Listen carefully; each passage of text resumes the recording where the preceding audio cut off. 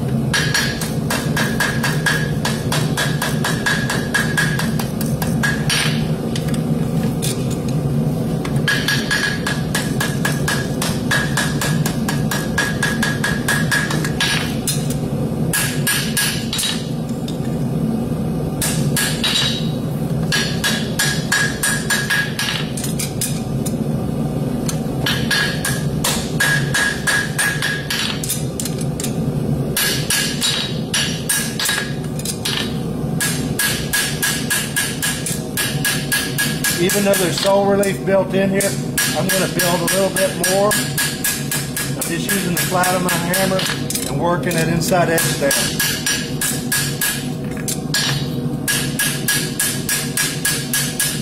And slowly lift up on the shoe a little bit. Half on, half off.